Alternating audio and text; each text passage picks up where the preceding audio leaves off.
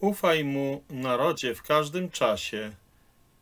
Wylewajcie przed nim serca wasze.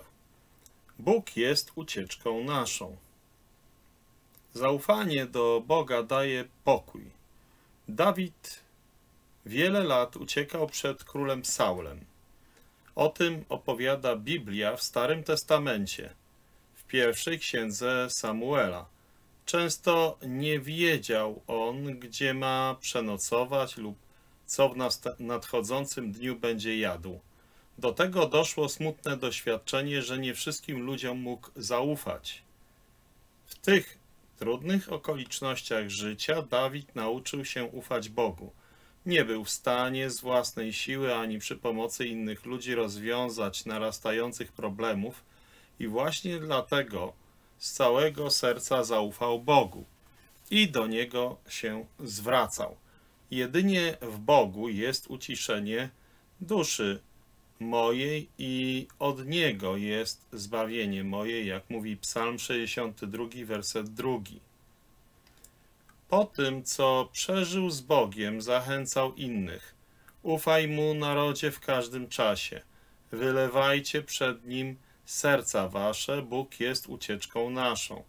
Te słowa z Biblii pewnego razu stały się dla mnie szczególnie ważne.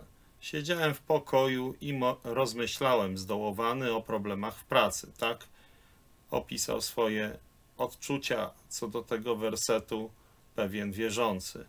I kontynuował dalej. Moje myśli krążyły ciągle wokół tego samego. Znajdowałem się jakby w błędnym kole i czułem się zdruzgotany. Wtedy upadłem na kolana i zacząłem wylewać moje serce przed Bogiem. Wszystko mu opowiedziałem, nie tylko ową trudną sytuację, w której się znajdowałem, lecz również o moim strachu i złych przeczuciach. W trakcie modlitwy Bóg przypomniał mi słowa z psalmu. Pouczę cię i wskażę ci drogę, którą masz iść. Psalm 32, wers, rozdział, werset 8. Psalm 32, werset 8. Nagle stało się jasnym, Bóg ma i w tej sytuacji drogę dla mnie, pomimo że ja nie wiem, jak dalej iść. Wraz z tymi myślami wrócił pokój do mojej duszy. Zakończył swoje opowiadanie na temat tych przeżyć, które miał w związku z tym wersetem. A ty, czy jesteś pojednany z Bogiem i możesz z Nim bezpośrednio rozmawiać? Jeśli uwierzysz Panu Jezusowi Chrystusowi, to będziesz zbawiony i wtedy będziesz miał stały przystęp do Boga.